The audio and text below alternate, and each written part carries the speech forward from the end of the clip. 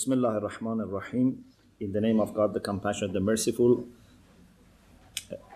When Mr. Saleh told me about your visit, I was very excited and I made the point that I should definitely meet you and spend some time with you. And I hope we would have some time to have informal discussions and to listen to you and your questions and comments. So we are very, very happy and we hope that your visit of Iran and in particular of Qom would be an enjoyable memory for you. Uh, the topic that I have to address is an introduction to Shiite seminaries, what we call Hawzaya Ilmiye. And this is by itself a very broad area, and I cannot do justice, but I will try my best to give you a little idea about the way the Shiite seminaries developed and a little also uh, information about the way at the moment the Islamic seminaries of Qom is running. This is very sophisticated issue. Even many people in Iran don't know about the way these seminaries run. And when they hear about the vast areas of the activities of the seminary, they are surprised.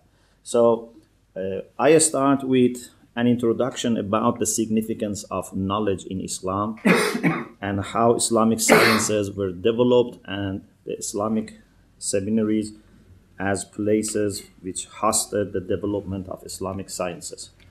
Uh, listening to you convinces me that you have uh, all some background about history of Islam, and you know that the era before Islam is known as the age of ignorance, Jahiliyyah.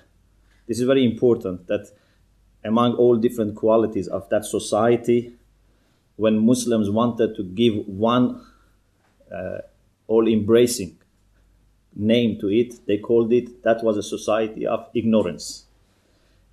The number of the people who were able to read and write in that society were less than the number of the fingers of one person not easy to find a person who can read or write.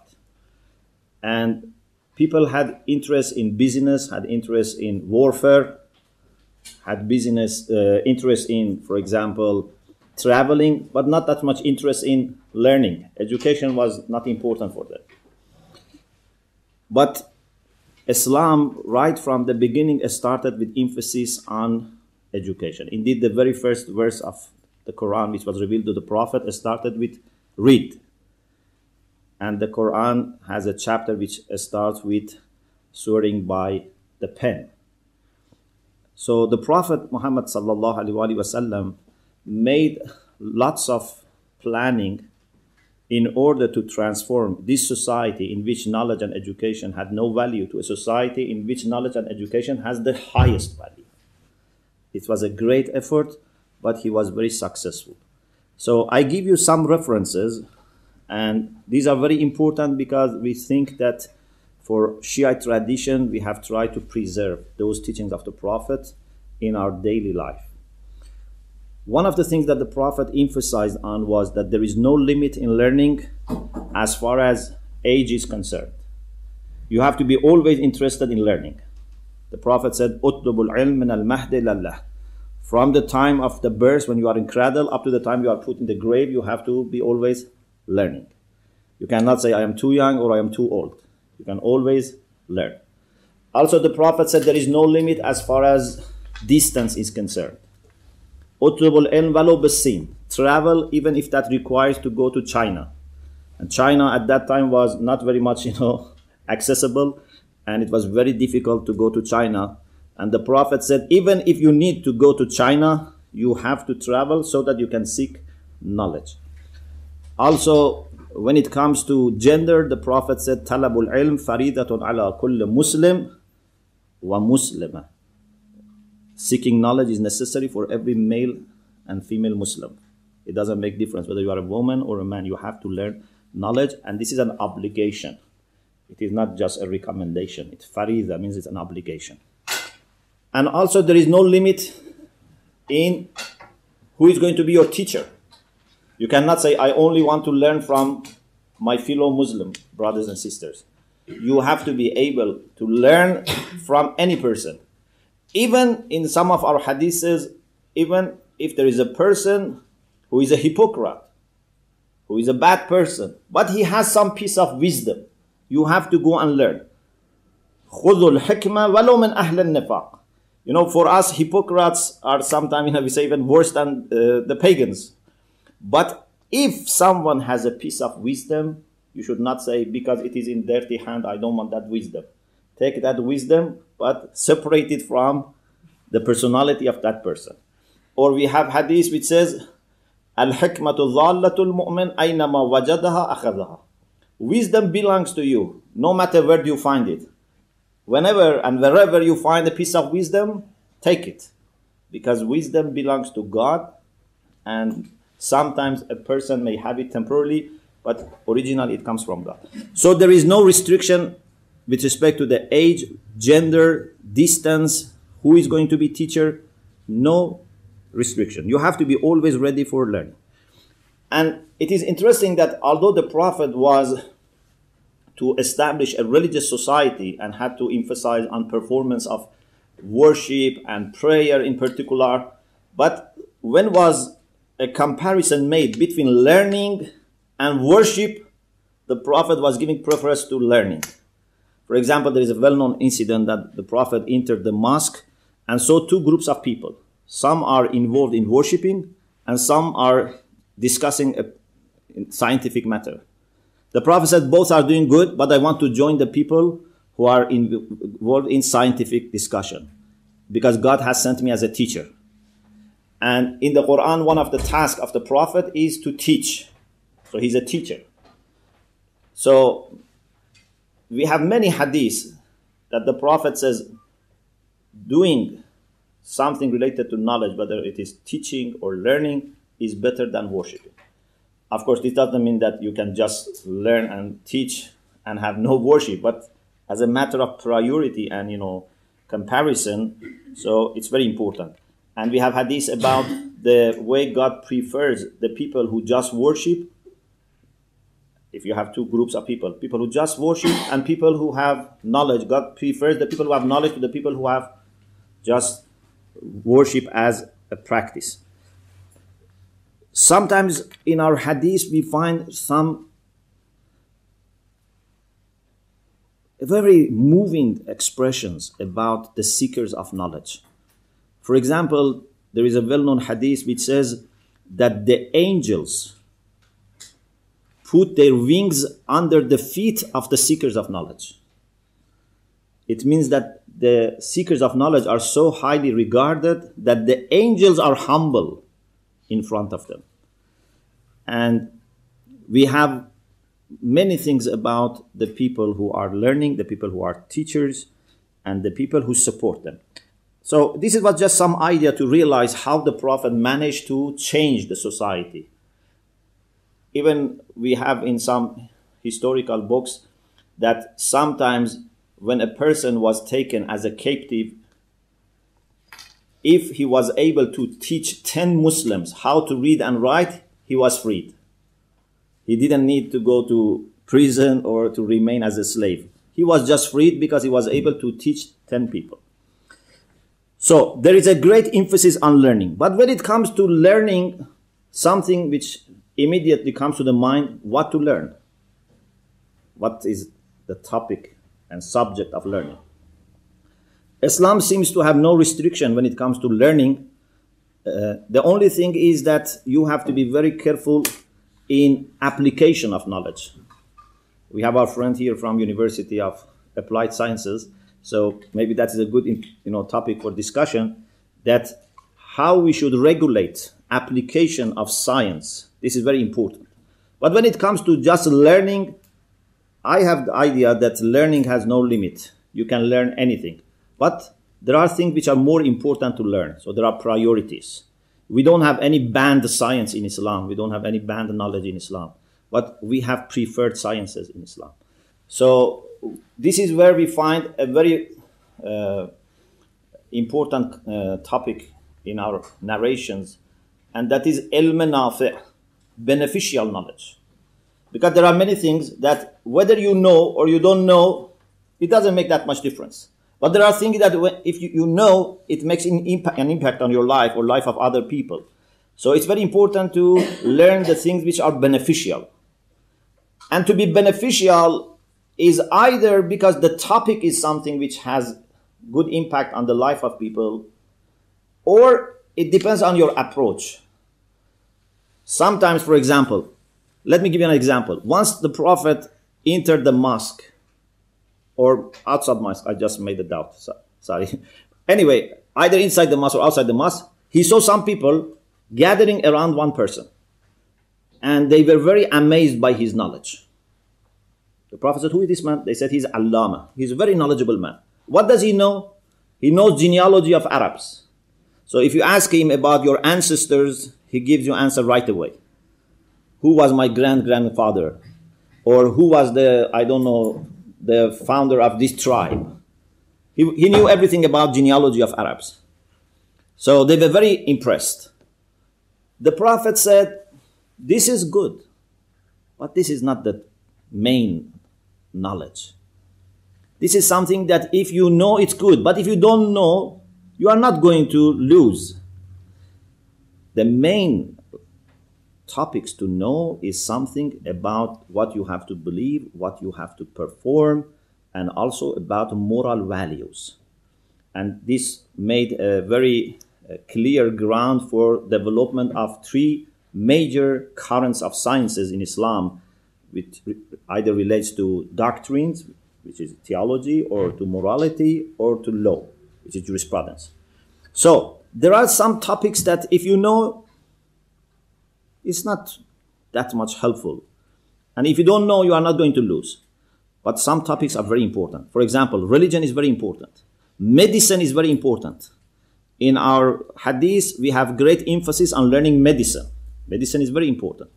Or, for example, how to uh, build houses, towns, these are important. How to do farming, these are very important. So, some types of knowledge are very important, and we have to have people who are equipped with that type of knowledge, and therefore, our jurists they say it is an obligation to learn these types of sciences. It's not a recommendation. In every society, in every era, we have to have sufficient number of people who are qualified in every area of science that the society is in need of that. So, for example, if we don't have enough uh, number of mathematicians, it means that we are all committing a sin, Islamically. If we don't have, for example, engineers, it's a sin for all of us. We have to make sure that we support some people who can qualify in learning that knowledge which is needed for the society and for mankind. Uh, this is what we call wajib kifai. It means that all people are responsible to make sure that this is achieved. If a group of people dedicate themselves, then the rest have no responsibility. But if no one takes care of that, we are all responsible. Like, for example, if there is a poor family in the town, we are all responsible. We have to help that poor family. But if few people take the initiative and support them, then we don't have obligation. So when it comes to learning these sciences which are beneficial for the mankind, we are all responsible. But if there is enough number of people who dedicate their life, then the rest can do other things. So this is about the topic. So the topic of or the subject matter of science defines whether it is beneficial or not and therefore whether it becomes necessary for us to learn or not. But also in addition to the subject matter, your attitude is also very important. You may choose the most important subject matter, which is God and get involved in religious studies and theology. But if your intention is not good, if you learn because then you want to be respected by people, you know, as an ayatollah or as a bishop, you know, you want people to respect you, this is not good. You may be master of theology, but at the same time be very far from God. If your intention is bad, then this is not going to make any benefit for you. Indeed, we believe that a knowledgeable person about religion whose intention is not pure is worse than the people who have no knowledge. And some of our hadith says on the day of judgment, 70 sins of a lay person would be forgiven before one sin of a knowledgeable person is forgiven. So this is the significance of having pure intention. And therefore, in our seminaries, we were always told, right from the beginning, that we should never think of what type of person I'm going to become. If I enter the seminary for the intention of becoming an Ayatollah, then this shows that I am not a good person. I have to learn and make myself available to the call of God. See what God wants from me. I shouldn't have my intention, you know, that I want to reach this social position or I want to reach, achieve this kind of recognition from the seminary. But uh, how good we are in practicing this, that is another issue. So, this is about your attitude to learning. If that education also must be something which is available for everyone. In Islam, we don't have any monopoly over knowledge. It's not that, for example, if you belong to this family, you can become a theologian or, for example, a scholar. Otherwise, you cannot. Or if you, for example, have a noble, you know, background or you come from a very rich family, no. Every person can learn, and every person should be helped. In the course of history, our seminaries have always been free of charge. We believe that this is a wrong policy to charge people for education because then the people cannot afford. Indeed, most of the time, the seminaries give a little money to support the students. Not only they don't charge them, they give them some monthly payment so that without you know thinking too much about how to make my earning, they can study. Unfortunately, nowadays that money is not enough, but that's another issue. But the philosophy is there that we should not charge people for education. And this has been reflected also in Iran's educational policies, you know, after revolution especially. Now we have education from primary up to PhD free from charge. Of course, there is uh, non-profit making also schools and universities, but if you want to go to uh, free education, it's available all the way through PhD. So this is something very important. And our seminaries, right from the beginning, hosted all different types of knowledge. Like, you know, Christianity, before uh, secular education was formed, it was mostly the seminaries who hosted uh, learning for whether secular subjects or religious subjects. In Islam was the same case. So if you wanted to learn medicine or mathematics or physics, you would go to seminaries. And this was the case and therefore, we have grand ayatollahs who were at the same time mathematicians or engineers. One of the places that you may visit, for example, is a very historical school, Hujjatiyya, which is nowadays used for foreign students. The design of that school was done by Allama Tabatabai, who is a great exeget of the Quran and philosopher, but he was also an architect. So this is the way that it used to be. But after development of sciences it was very difficult to have all these together. So nowadays people specialize. But up to one or two generations ago, we had people who knew philosophy, jurisprudence, ethics. At the same time, they knew mathematics and astronomy. Now, let me focus on the city of Qom and the seminary of Qom. After the development of Islamic sciences all over the Islamic world, some places emerged as the main places for learning. Learning was happening in all the cities and villages, but some places had the capacity to become like hubs for learning.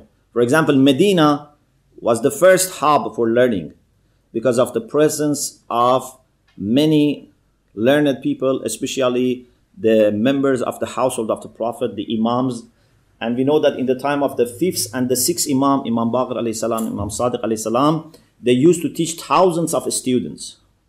So they had a big circle of learning and they used to regularly teach them. So this was a very important place. Or for example, in Basra, in Baghdad, in many places, they had these um, hubs for learning. The city of Qom has a characteristic which maybe is not available in other places, and that is that right from the beginning, this city was inhabited by the Shiites. According to some books, they say for a short time it was inhabited by the non Shia as well. But it seems that right from the beginning, the Shia were there, and it became, even at the time of the Imams, which is in the uh, late first century and second century, it became the place of narrating the hadith of the Prophet and the household of the Prophet and teaching about the hadith sciences and about the Quranic studies. So the history of seminary here is going back to the early Islam. Even we have some uh, mosques in the town which were built at that time because imams were in touch with the people of this town they used to ask imams for guidance imam used to give them you know instructions so this city from the beginning was a center for learning of the teachings of the household of the prophet. I don't know how familiar you are with the history of iran. Iran in large was inhabited by the sunni muslims. So it was only in the 10th century at the beginning of the 10th century after islam when the safavids came to power that the majority became shia. Before that we had some shia you know communities, especially in northern Iran under the Caspian Sea. We had even you know some dynasties which were Shiites, and in some other places like central Iran, for example, sometimes we had Buwayhids who were Shia, but the majority of Iran were Sunni. But then, in the time of the Safavids, the majority became Shia.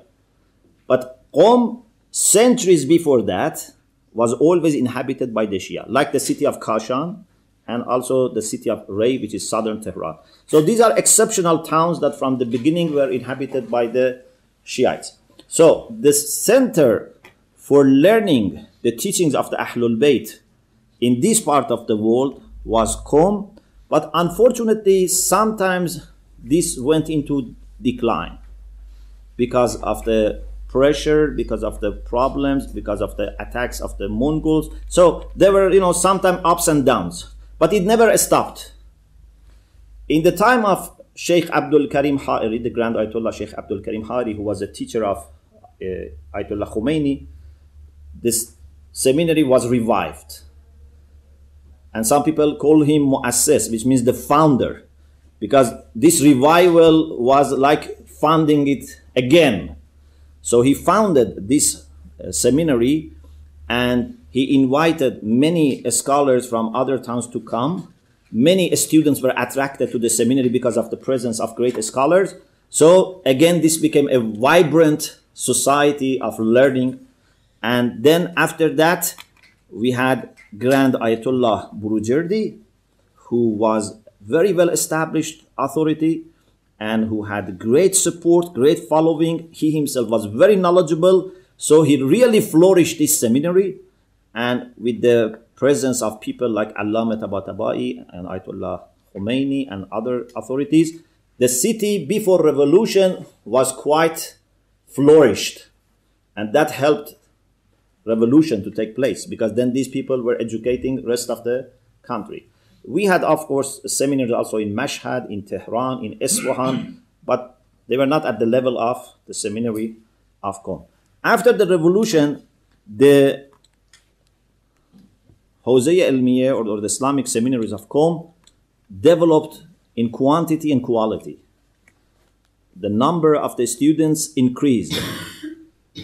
year by year, the number increases. At the moment, I don't know the exact statistics. Maybe, you know, in some of your visits, you will be told about the exact statistics. But just my estimation is that there must be at least about 50, 60,000 students, uh, scholars, who are involved in teaching and learning the seminary. These are officially registered people. Maybe there are many people who are doing just without being affi- affiliated to any person or any place. But having 50, 60,000 seminarians, having more than 10,000 foreign students from more than 100 countries, and having about maybe uh, 10,000 ladies who study in the seminary makes this a very special place. There is no place in the Muslim world that has this concentration on learning.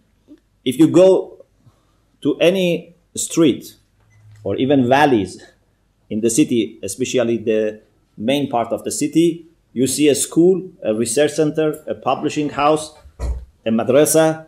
So all city is built around these scientific academic places. Of course, the shrine is the central place where we believe, believe that the inspiration comes. And it's very interesting that this seminary is built around the shrine of a lady. Maybe in no school of Islam you find shrines for ladies other than the Shiite Islam. For us, we have some shrines which are very important and they are shrines for ladies. Like this shrine, which is very important and people from all over the world come to visit the lady and we believe that it's because of her presence that the city has this uh, capacity for learning and also being a spiritual place a peaceful place uh, i don't have time to mention many hadiths that we have from early centuries about the city of qom and about the function of this city in the end of time which has all predicted before even this lady was born. So if you have questions, maybe we can then address those hadiths. So this is the situation of the seminary of Qom right now.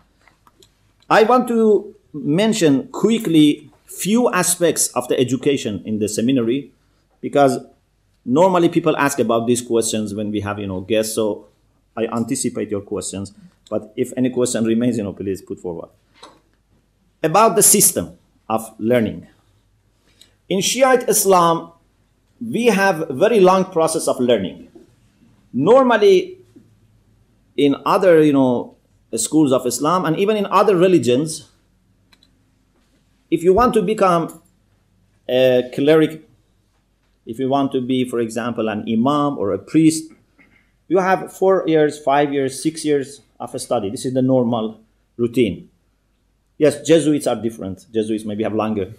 But in the Shiite Islam, for us, five years, six years is just to warm up.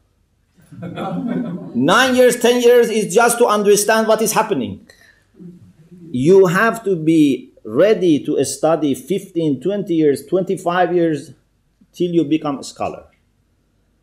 So if you ask, you know, people that you are going to meet, how many years have you been studying? You would not be, you know, surprised that they say 20 years, 25 years, 30 years I've been studying. Because as the prophet said, learning must continue till you are put in the grave. So we are not in rush. We don't say, you know, I am going to the seminary for four years and then I want to find a job. No, I'm going to go to the seminary, and I'm going to continue my learning unless something important happens. For example, we need to send someone to a town for preaching. Then people, without you know liking this, they have to go as a responsibility. Otherwise, everyone wants to learn, and therefore they prefer to remain in the seminary. So sometimes it's difficult for ayatollahs to convince people to go out of the seminary because everyone wants to remain here and enjoy learning and teaching. So the way that they have designed, especially after revolution, because they wanted to bring some kind of also organization and punctuality to the programs. So what they designed is that we have the first introductory level we call muqaddamat, which is to learn Arabic, especially morphology and syntax and rhetorics of Arabics. You learn also some logic and you learn basic of beliefs and uh, Sharia. This takes about three, four years, but the concentration is on Arabic because our textbooks are in Arabic, you know, like Latin for the church. So we have to learn Arabic. We don't speak necessarily Arabic unless we have learned it. So many people are not able to speak Arabic, but they all can read Arabic. Even many of them make notes in Arabic, especially for advanced students. It's bad if you make your notes you know, in Farsi. You have to make your notes in Arabic. So the learning of Arabic is very important. So in the first three, four years, when, which we call muqaddamat or elementary level, they focus on Arabic and some other prerequisites. Then we have what we call Sath, which is the intermediate level, and that is to learn jurisprudence and principles of jurisprudence, but in different levels. So we read few books one after the other so that we go into the depths of the subject. So first we would have, you know, easier books, then we go into more difficult books. But on the margin of that, you can also study interpretation of the Quran and philosophy and theology. But the main current is jurisprudence and principles of jurisprudence. And these two take 10 years. The elementary and intermediate takes 10 years. After 10 years, then the advanced studies, which we call Dars Kharij, starts. And that is to really specialize in jurisprudence. And up to this stage, you are bound to study a book. We have a textbook. And we go to the teacher, and teacher teaches us according to the textbook. And we study page by page it's not that he comes and says, you know, something in just air. He has to explain everything in that textbook. So we don't want any question, any ambiguity remain. But when it comes to the advanced level, they follow a textbook, which is normally a brief or summarized version of a book, but then they try to explain why that judgment, that conclusion is made by the author. So maybe one line will be discussed for several weeks. Because we don't want just to understand that book. We want to learn how to develop our own thinking and reasoning about these issues. So gradually you learn how to become an independent scholar. This is very time consuming, but it's very enjoyable because you learn how to yourself become an ayatollah, an independent scholar. And this has no limit. It's a quality that you have to achieve. If you are a genius student and hard worker, maybe after five years, six years, you can achieve this quality.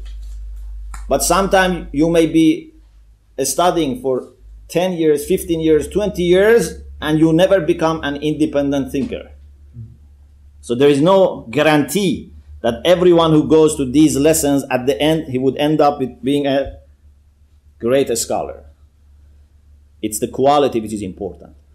So the idea is that by the end of this process, you should become a person who can refer to the Quran and the Hadith and uh, intellectual arguments and develops his own understanding.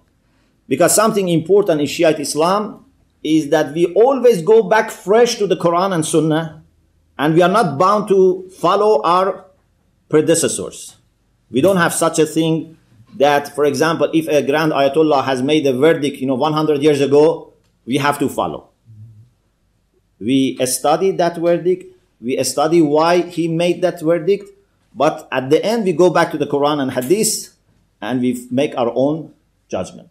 So therefore, this is not fixed.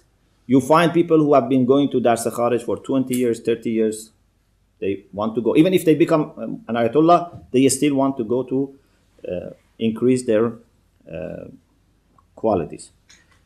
So we have introductory level, which takes about three years.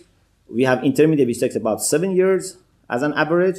And then we have Dars Kharij, which is not you know limited, but as an average, maybe people take you know at least five, six years up to ten years. But nowadays, what we have is that some people want to specialize in other subjects. So maybe they make it shorter in jurisprudence and principles of jurisprudence, and they choose another subject. So after studying five, six years, they join centers for other you know disciplines. For example, about interpretation of the Quran, or about philosophy, or about theology, or history, or for example, even psychology, economics. Those there are different subjects that you can specialize. But the main stream is what we explain. There are several qualities about the educational system here. I just give you a list. We don't have time to elaborate on these things. One is that the relation, because you are all involved somehow in education, so maybe this is interesting for you. For us, the relation between teacher and students is very intimate. We always look at our teachers as our role model. A teacher is not the one who is just good in teaching. If I don't believe in him as a pious person, I never go to his lectures. Unless in new systems, sometimes you are forced to go to this, you know, teacher. But traditionally, we choose our own teachers. No one tells me to which lecture to go. There are many different, you know, teachers. They teach in different places the same subject. You choose the one that you prefer. You prefer his way of teaching. You prefer his level of knowledge but you prefer more than anything else his character. So we look at our teacher as our role model. This is very important. So if we have a person that has knowledge but his behavior is not good, we don't go to his lectures because we want him to be our spiritual father. Therefore, there is always respect, very high respect for the teachers. We never, you know, raise our voice over the voice of our teacher. We never, you know, go into a door before our teacher goes. So we have to be very careful about these issues. And we have to preserve these issues because we are, you know, worried that maybe gradually these things, you know, uh, become weak, you know, because we have to observe, you know, what is happening in the modern society. But so far, alhamdulillah, thanks to God, we have this very close and intimate relation between teachers and the students. For us, it's also very important that we have to be critical a teacher loves that student who questions him. We never have this thing that I am your teacher, I say something, you must remain silent. This is very bad in the seminary. If a teacher says that don't question me, don't ask me, we don't go to his lectures. We want a teacher who encourages us to ask. Sometimes, you know, great scholars were telling their students, today was a bad day. They said, Why? They said, Because no one asked me any question.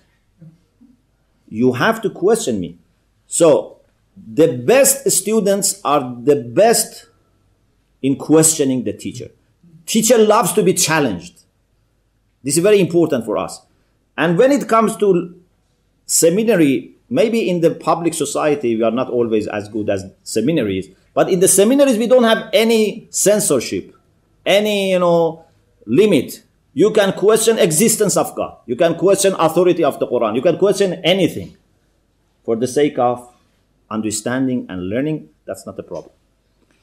The other thing in Shiite seminaries, especially in the seminary of Qom, is that intellectual sciences are very important. You don't find any seminary in Qom or Mashhad or Isfahan in which philosophy is not taught. But yes, in the past, sometimes it was not always like this. But in general, the Shiites have always uh, favored intellectual approach to religion. And therefore, you find that we have a very active tradition of philosophy in Iran, for example. But if you go to some Muslim countries, I don't want to mention the name, from the top to the bottom of the country, you don't find a single department of philosophy. They have no interest in philosophy. Philosophy is bid'ah, is heresy. Logic is heresy. And perhaps the Pope had the, them in mind, you know, when he talked about Islam, you know, not being in favor of intellectual sciences. But that is not representative of Islam. In Shiite Islam, rational approach to religion is very important and we have, you know, many people who specialize in philosophy, in theoretical mysticism, and so on and so forth. And the other thing is that the, the seminaries of Qom have always been also concerned about the relation with people.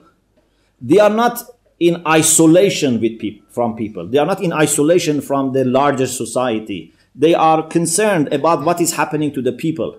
Therefore, it was a pra- common practice that whenever we have holidays, they go to villages, to other towns for preaching. Because in some other seminaries, they didn't have this. They just focused on learning. But here, when it's the time of learning, they learn. When it's the time of preaching, they go for preaching. This keeps them connected to the people, which is very important because without being connected to people, we are going to develop wrong ideas about the need of the society.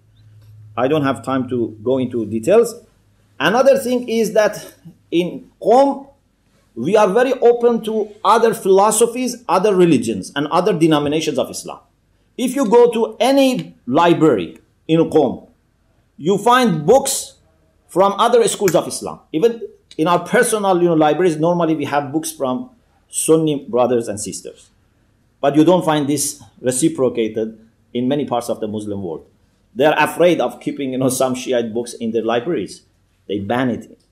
But here we are very open. You don't find any major library without hundreds or thousands of books written by other denominations of Islam or books by other religions. This university is an example of this openness. Here they study other religions, other denominations. They translate the books written by them into Farsi.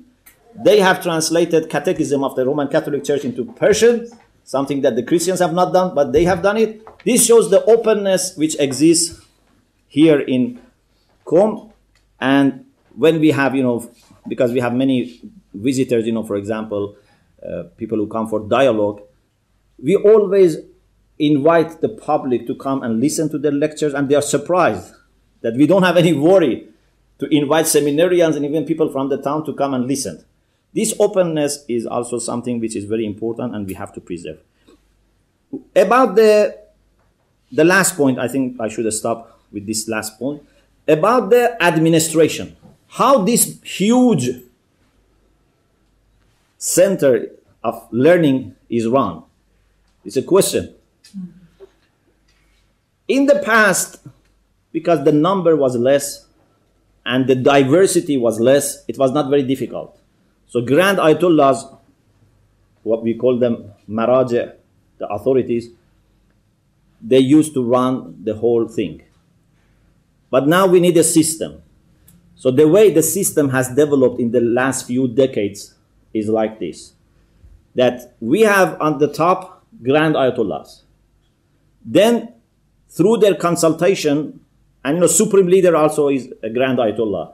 So not as a political figure, but as an ayatollah, with other grand ayatollahs, they come to an agreement about a council, which is called the High Council of the Islamic Seminaries, Shoraya Ali.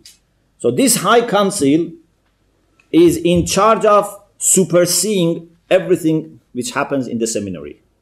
But they don't deal with the day to day affairs. So they appoint a director.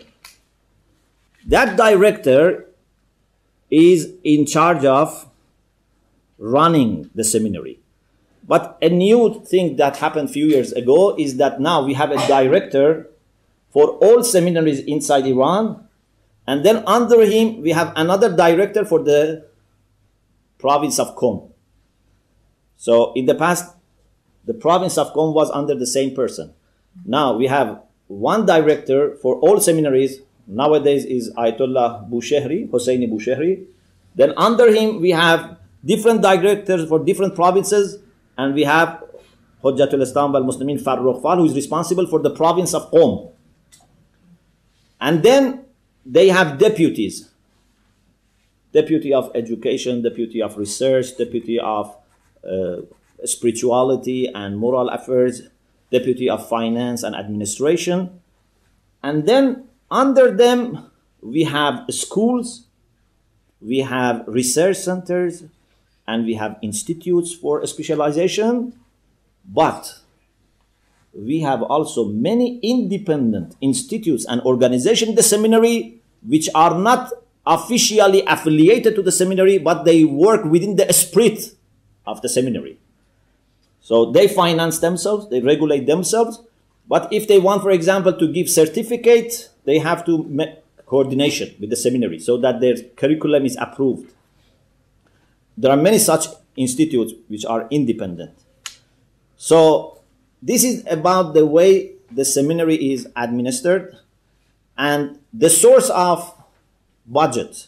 Normally people ask about the budget.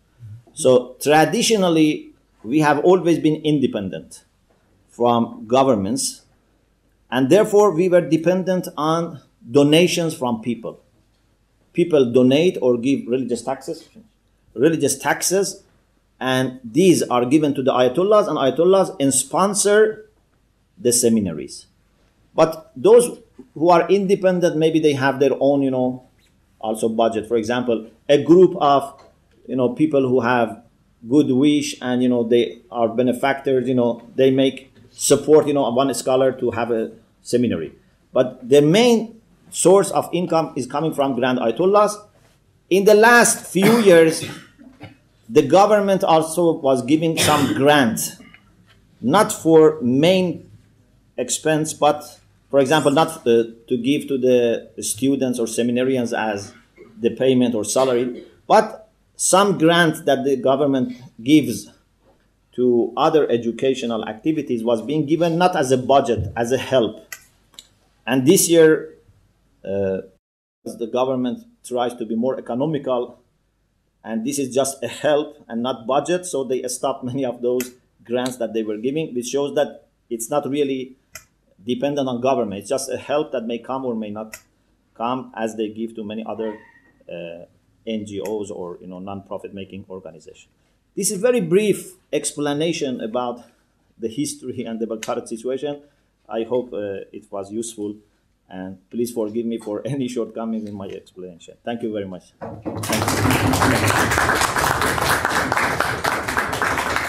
Thank you.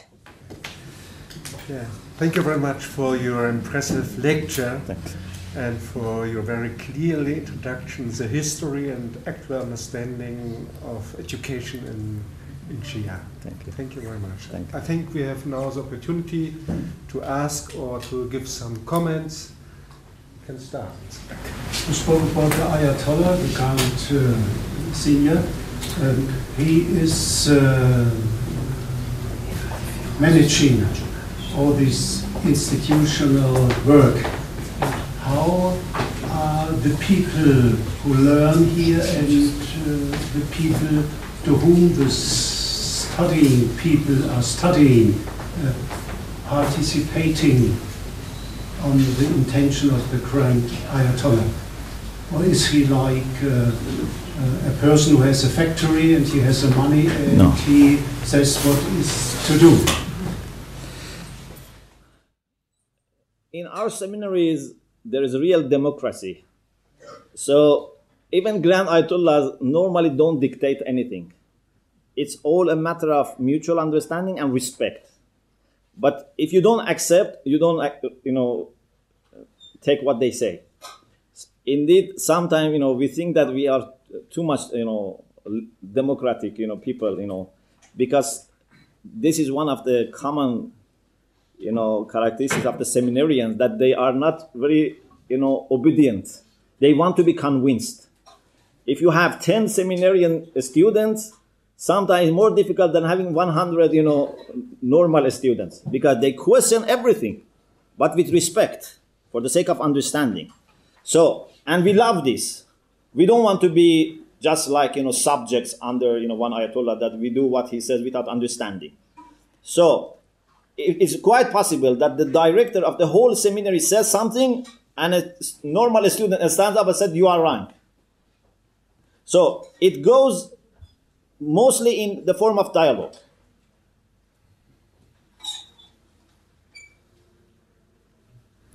I want to learn about um, how the Shiites um, managed to, uh, to take the book of Quran and to um, find out what is meant about the time today. You know, time changed a lot, world changed a lot.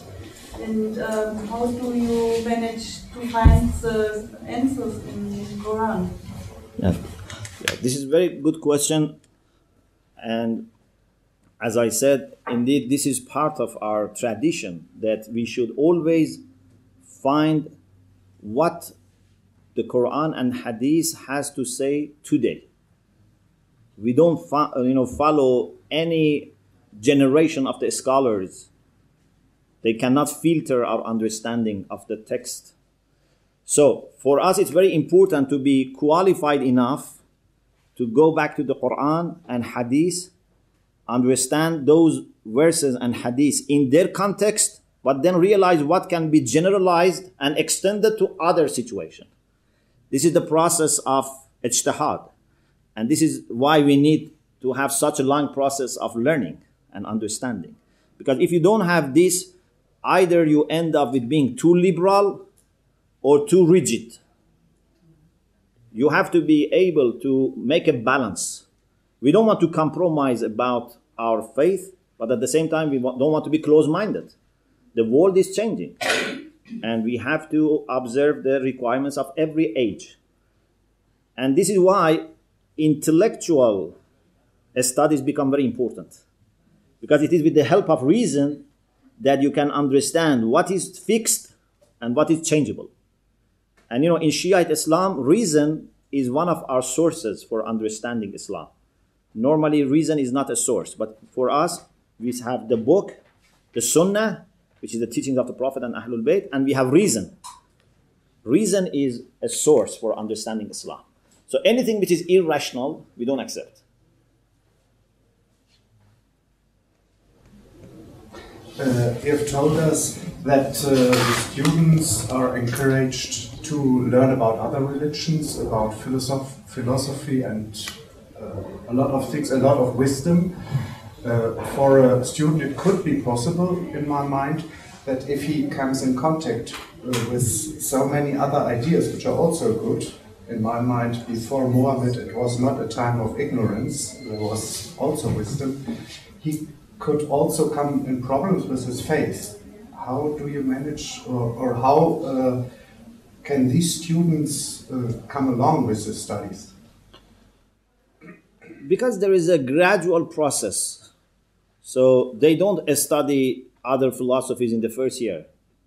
So they first equip themselves with good understanding of logic so that they can be critical they learn you know some theology some philosophy then gradually they also learn other philosophies other religions.